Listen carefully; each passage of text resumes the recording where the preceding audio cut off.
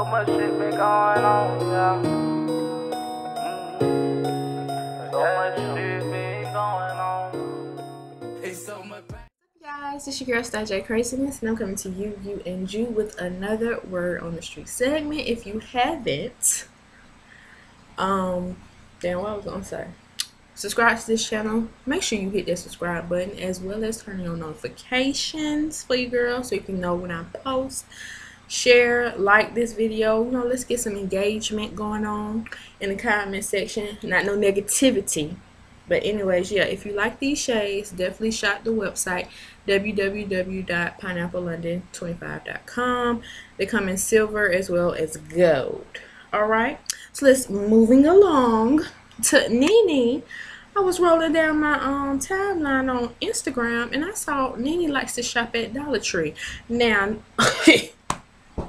the sister herself likes to shop at Dollar Tree. Okay, get them good deals for just a dollar. All right, I wish they didn't add tax to it because then it'll truly be a dollar. You know, the overall total, you know, put the tax on them. But yes, so I was like, yes, I'm feeling this. Yes, Nene, let us know you just real like us, human common folk out here, just trying to make day to day, and we're gonna eat off some Dollar Tree plates. All right, I was here for it. I was here for it. You know, she ain't, she might do her little bouginess, like shop at Gucci and stuff, but real common folk know Dollar Tree, baby, Dollar Tree. And this is not a sponsorship, but if Dollar Tree see this, holla at me. But anyway. okay, so um, I'm getting this from Celebrity Insider, and it says.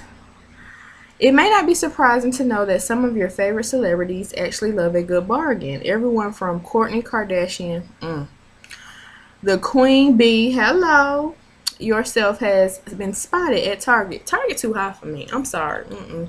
I can't freaks with the tar get or how they say Target.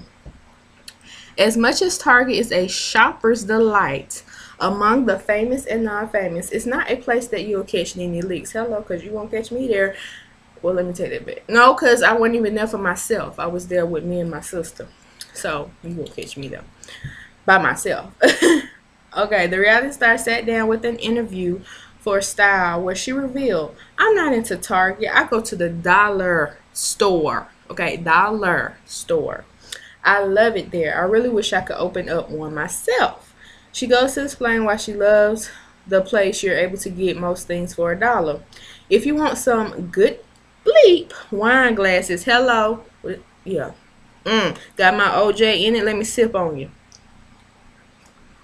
To all them haters out there moving along are very thin and break when you put them on the dishwasher. Well, honey, the dollar store has got some thick mm, ones. Same with the martini glass. Whenever I have a party at my house, I go buy boxes of plain white plates. They too she adds. You're not the only one who is surprised. Oh, hell, I'm probably not really not surprised, but hey. The salesperson always looks at me and goes, Oh my gosh, that's Nene Leakes at the dollar store. I'm like, Don't worry about me. You have all of this expensive stuff at your party, but your guests will be eating off dollar store plates. And they don't even know it. Hello, you better let them know.